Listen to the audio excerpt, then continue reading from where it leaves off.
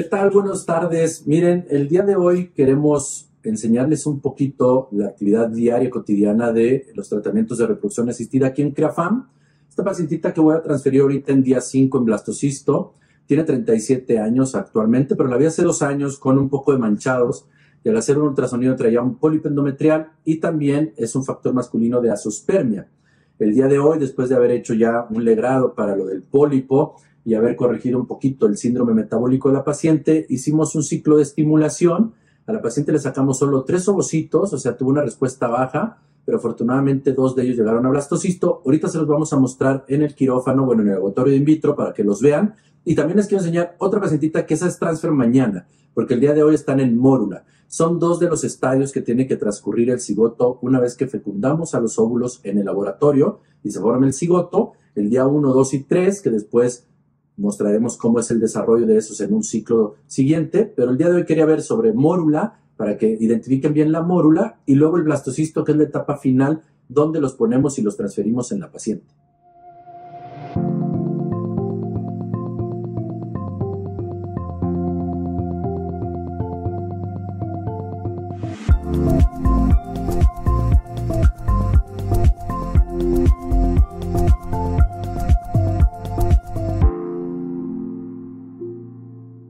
Nuevamente estamos aquí para mostrarles el desarrollo embrionario de los blastocistos en esta ocasión. Estamos en el día 5 y van a ser observados los parámetros morfológicos aquí en el microscopio y en la pantallita.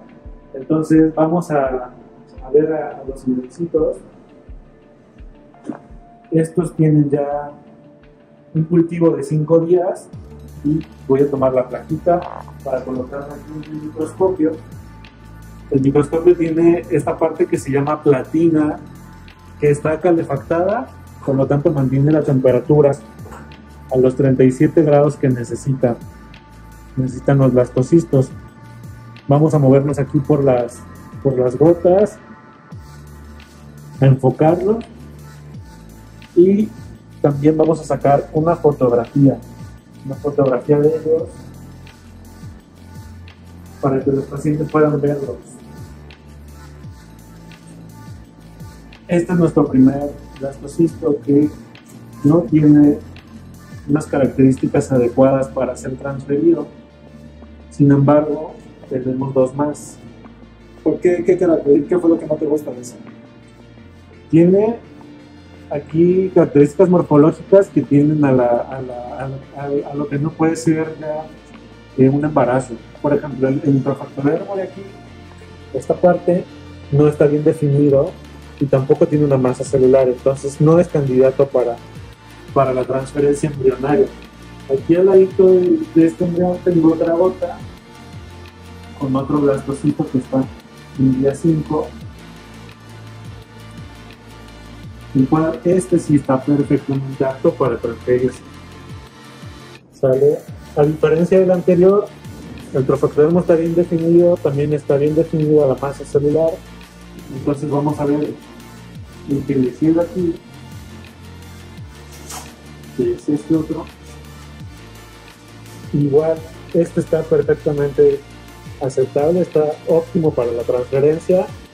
Las características que tiene morfológicas están adecuadas. Tiene, este es grado A, entonces el grado quiere decir que es el, mejor, el mejor que tenemos. Tiene masa celular interna adecuada, también tiene el trofocalamo adecuado y está listo para ser transferido. Ahora vamos a ver eh, el desarrollo embrionario de otra paciente. Ella está en día 4, es decir, está ya pasando, es un día anterior al, a la formación del blastocisto y vamos a, a verlos por Igualmente, como podemos observar, ya se está formando la, la mórula tiene por allí una, una pequeña, pero eso es perfectamente normal. Y lo que ocurre aquí es que se empiezan a juntar todas las blastómeras para ya hacer el, el, blastocisto. Entonces, vamos a, visualizar la siguiente. Por ejemplo, aquí podemos ver cómo hay una separación, lo cual no es un buen pronóstico porque también tiene vacuolas entonces vamos a ir descartando a los embrioncitos que no están adecuados. también tiene qué? Tiene vacuolas, son unas, unas, unas partículas, bueno, son organelos, son parte de la célula que está sacando, está tratando de poner en balance al embrión. Entonces, eso quiere decir que tiene un poquito de problemas para poder regularse, pero es normal también. Este, por ejemplo, es otra mórula que ya incluso comienza un poquito a hacer el blastocisto, igual tiene vacuolas, está tratando de regular su, su metabolismo, pero está muy bien. Entonces, los voy a guardar para no manipularlos tanto, pero en esencia eso es El nuevo sistema que estamos utilizando que se llama ELCA es un sistema de inteligencia artificial basado en un algoritmo que a nosotros nos va a permitir eh, seleccionar o tener una mejor predicción de que ese embrión, si se logra el embarazo, pues tenga una mayor prob- probabilidad de que esté sano. Este programa lo que hace es que nos va a dar un reporte. Si se dan cuenta, aquí está el reporte. Este reporte que nos dice que conforme los, las fotografías de los embriones los evalúa en base a este algoritmo de inteligencia y nos va a dar un número predictor. Por ejemplo, esto, si se dan cuenta, tenemos A, B, C. El embrión con mayor probabilidad de tener eh, menos aneuploidías, que podríamos traducirlo a anormalidades genéticas, tiene 1. El 1 es como si fuera una especie de 10, es decir, que tiene alta probabilidad de que sea sano. Tenemos otro que es el B, que también está en 1, que está calificado como si fuera de 10, y a lo mejor uno que no es tan llegado al 10, pero podemos darle un 6 o un 7 que tiene punto 55, lo cual tiene una relación con lo que comentábamos allá adentro, que significa que esos embriones que se observaron, si se transfieren los dos, pues entonces tengamos mayor probabilidad de un niño o recién nacido sano. Muy bien, vamos a hacer la transferencia de los blastocistos que ahorita les mencionaba. Hay que recordar, como Luis lo mencionó ahorita dentro del laboratorio, los criterios de Garner son unos criterios que se usan para valorar el embrión blastocisto, que se basa en darle calificaciones al trozo ectodermo y a la masa celular interna, pero además estamos utilizando un nuevo sistema de valoración que es un ranking embrionario que se llama ERICA. Esto es inteligencia artificial, donde se envían todas las imágenes y ERICA te da más de 20 parámetros para darle una valoración de euploidía. Quiere decir, te va a dar una posibilidad de esos embriones son sanos cromosómicamente y obviamente si son óptimos para la transferencia.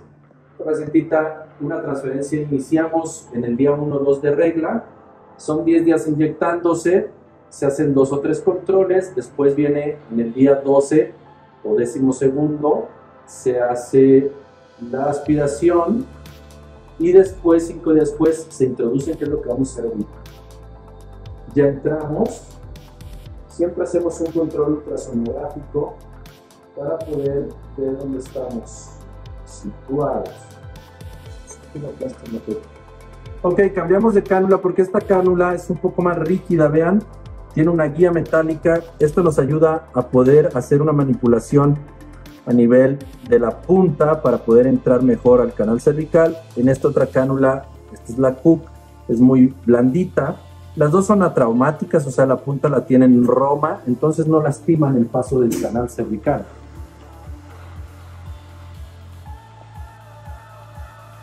Esta tiene una gran ventaja, ya entré. Vean, ahí está la puntita, lo voy a señalar con la flecha. Se ve la punta de la cánula. Entonces, ahorita lo que vamos a hacer es sacamos la guía metálica y nos quedamos solo con la férula y nos van a cargar los embriones en una cánula que se llama tipo 4.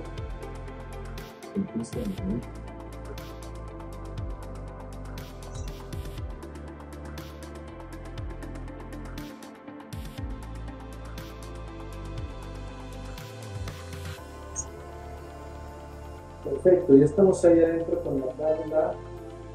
Ahorita lo que vamos a hacer es poner los blastocistos. Le pasamos la cánula a Fernanda, se la va a llevar. Y vean, entonces aquí tenemos esta imagen que nosotros le llamamos un clutch, pero realmente es la burbuja de medio del cultivo que aportamos los blastocistos, que es en la parte distal del útero. Obviamente esta pacientita no tiene tanta vejiga, es esto de aquí, por eso a veces se dificulta, pero la cánula fue tipo 1, o sea, fue fácil se vio toda la visualización de la burbuja.